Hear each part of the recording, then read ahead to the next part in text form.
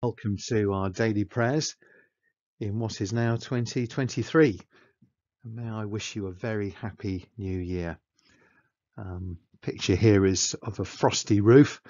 I'm not sure if it's frosty, it will be today, but it's beautiful actually how the frost accumulates on the roof.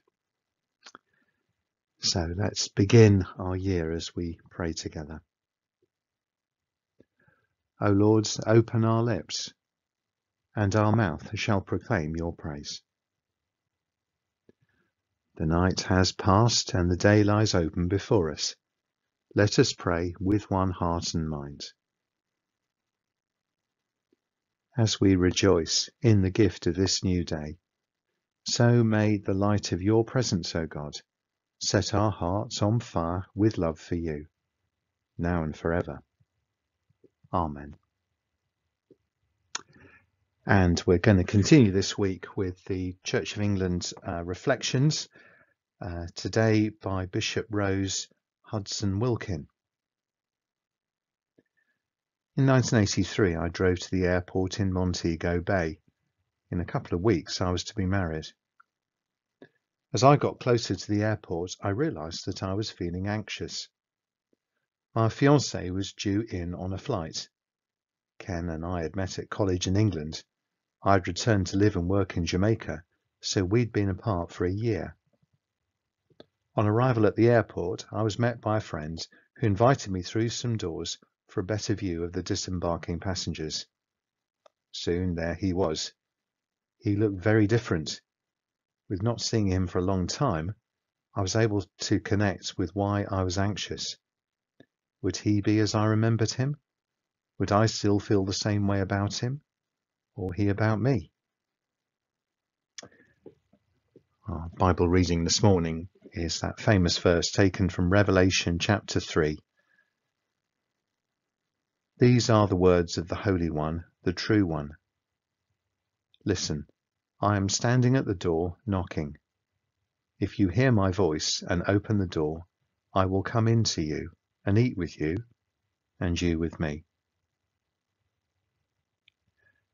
The writer Revelation draws our attention to the important role played by the door in the Great Invitation. The door creates curiosity and an expectation of what is to come or what lies behind or beyond the door. Looking back, I'm grateful that I accepted the invitation to go through the door and get a little closer. Accepting the invitation allowed me to identify and own my anxieties. I'm delighted to share that we've been happily married for over 39 years. Our fears and anxieties can prevent us from taking the steps towards the door. Christ is at the door. Let us open the door and welcome him into our lives. What a feast of opportunity awaits us as we follow the star this Christmas time and New Year through the open door. And so as this year begins, Rose writes, I invite you to pause from all the hustle and bustle and picture your own hopes and dreams for 2023. In the stillness, perhaps we can hear the door being knocked. Let's get ready to open it. And so she prays, Dear God, thank you for being persistent in your knocking and for remaining at the door. May we find the courage to step outside our fears and open the door to your life of love. Amen.